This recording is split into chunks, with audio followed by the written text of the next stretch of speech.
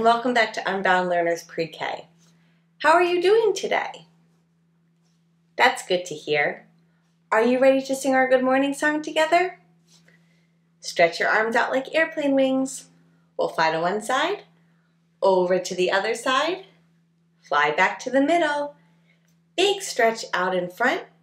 Now take that circle up over your head. We'll stretch on this side, over to the other side, one last stretch, and now let's sing together. Good morning, dear earth. Good morning, dear sun. Good morning, dear rocks and flowers, everyone. Good morning, dear beast and birds in the trees. Good morning to you and good morning to me. Good morning, friends. Welcome to Circle Time. I hope you're having a great day so far. We have to do three things before we move on to the calendar and weather chart. First, turn on your listening ears. Next, we have to put on our thinking hats. Today, my thinking hat has a zipper underneath my chin, so I'm going to zip it up. And the last thing that we need to do is warm up our hearts. Can you show me how to do that? You're right. Boom, boom, boom, boom, boom, boom. Now let me grab my pointing stick and we can go over the date together. Let's start off with the month, which is right up here. Do you remember what month it is? November. Today is November 16th. So let me move the chip over from yesterday. Yesterday was November 15th and today is November 16th, and the year is 2021, but you can also say 2021. Let's see how many days we've had so far in the month of November. Take out your counting finger, give them a little stretch, and let's count together. One, two, three, four, five, six, seven, 8, 9, 10, 11, 12, 13, 14, 15, 16. We've had 16 days so far in the month of November. And now it's time to sing the Days of the Week song. So let's hold up seven fingers like this for each one of the days of the week. There are seven days, there are seven days, there are seven days in a week. Sunday, Monday, Tuesday, Wednesday, Thursday, Friday, Saturday. Down at the bottom of the chart, we have the days of the week to go over. So listen for the sound that the day starts with, and you can tell me what the day is. Yesterday was M. Monday, the first day of the weekday. So that means that today is t Tuesday, and tomorrow will be w Wednesday. Let's sing Today is Tuesday together before we go over the season. Today is Tuesday, today is Tuesday, today is Tuesday all day long. Today is Tuesday, today is Tuesday, today is Tuesday all day long. Up at the top of the chart, we have the season. There are two ways to say this season. You can say that it's fall or autumn. And now let's go over the weather. But first, we need to sing the weather song together. What's the weather? What's the weather? Can you tell? Can you tell? Is the sun shining? Is the rain falling? Can you tell? Can you tell? Today where I live, it's a mostly sunny day. When I look outside, the sky is mostly blue, but there are a few thin cirrus clouds in the sky. And my temperature chart is on light blue because it's chilly outside. Chilly but mostly sunny. And what kind of weather do you have at your house? Take a peek outside and let me know what you see. Thanks for sharing the weather with me. Now let's move on to the letter, the number, and the sign of the week. Yesterday we learned this new capital letter. Do you remember the sound that this letter makes? Let's do that together. What letter is this? This is a capital or uppercase X. X says X. So today I have something inside of the letter box and it ends with the letter X. X. Here's your first clue. This is a type of an animal. This animal is a male cow called a bull and it has two horns on its head. Do you know what another word for a male cow is? Let's see. This is an ox. So an ox is a type of a bull and it has two horns on its side of its head. Ox ends with the letter X. This is how you write an uppercase. X.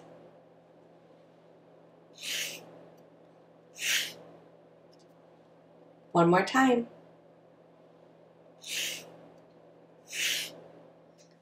And here is the double digit number of the week. This is the number 25. When you write the number 25, you write two numbers.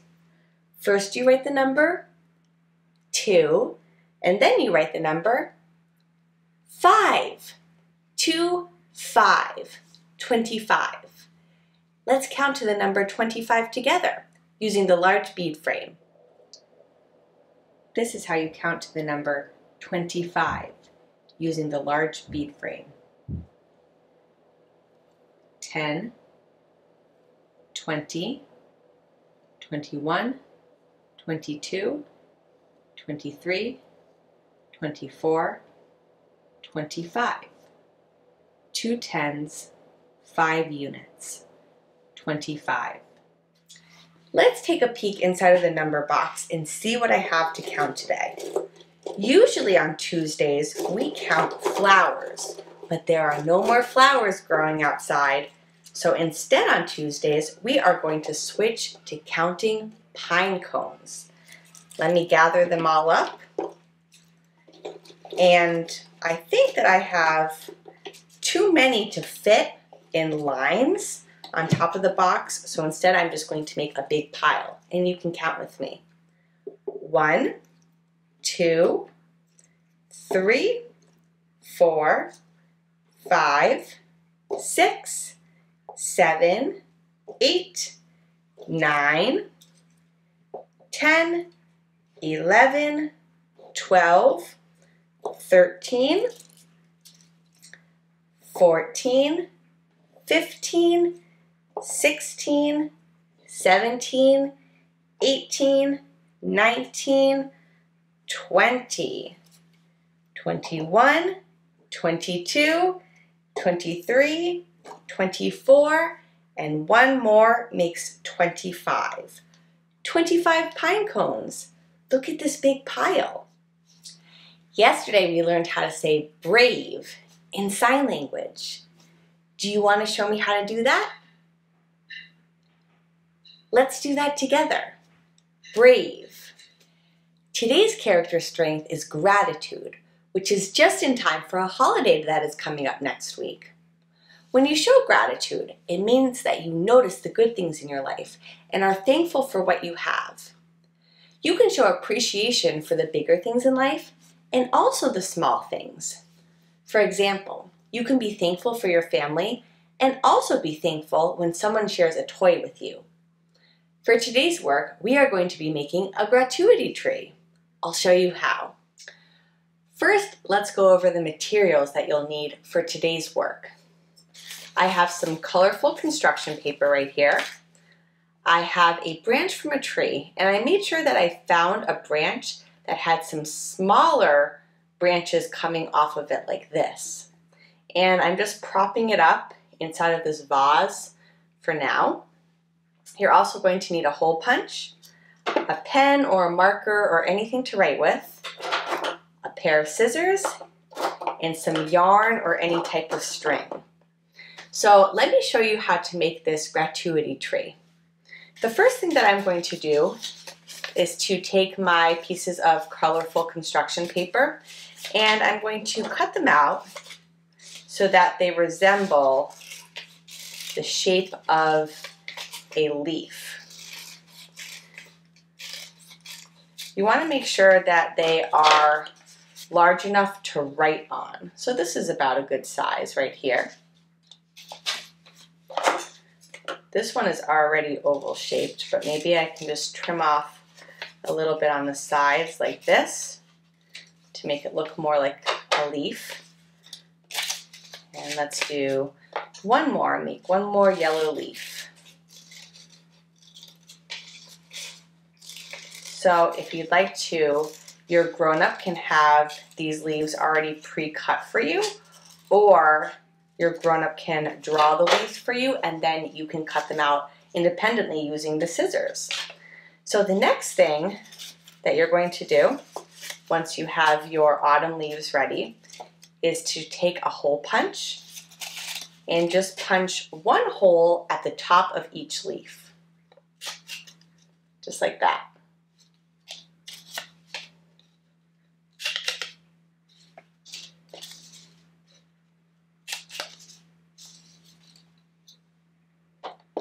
Next, once you have the holes in each leaf, you're going to think about something that you're thankful for.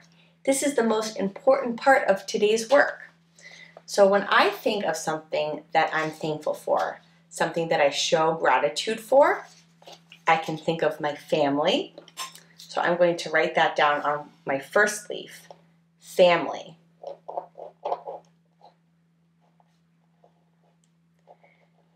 If you are able to write your thoughts down independently, you can do that. If not, you can just tell a grown-up what you're thankful for and your grown-up can write it on the leaf instead. So right here I have family. I am also thankful for being in good health. So I'm going to write health.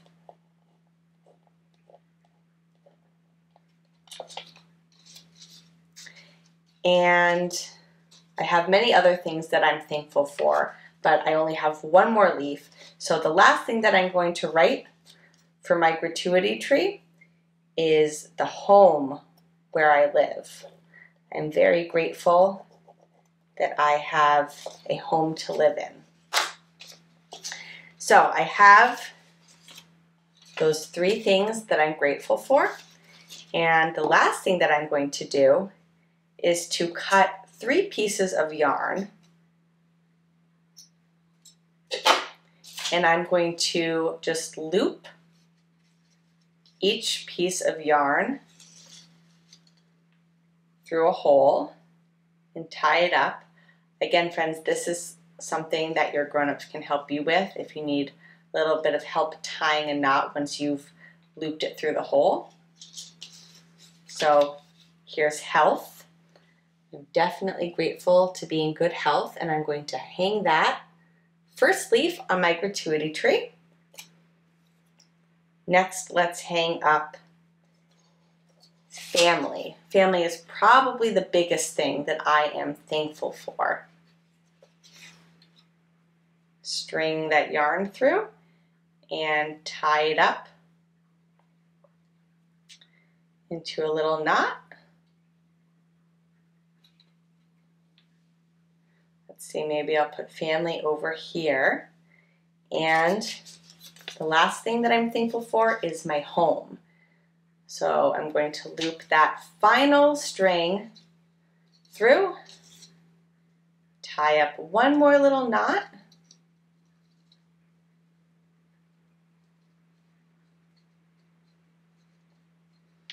and hang it up. And here's my gratitude tree. Now, the really great thing about making a gratitude tree is that you can put this in a special spot in your house and anytime you think about something that you're grateful for, you can add a new thought. This can be done just by yourself, but it can also be opened up to your whole family. Let's get back to circle time. Welcome back to circle time, friends. Remember, the leaves on your gratitude tree may say something different from the leaves on my gratitude tree. And that's okay. That just means that we're thankful for different things. Thanks for learning with me today. If you haven't already, please subscribe to my channel. Give my video a big thumbs up and find me on OutSchool for my live and interactive classes. You can also support my channel by checking out my Patreon page and gain access to bonus features for your child. It's time to wave goodbye and sing together. Goodbye, friends. Goodbye, friends. Goodbye, friends. I'll see you next time. Have a great day, everyone, and I'll see you tomorrow.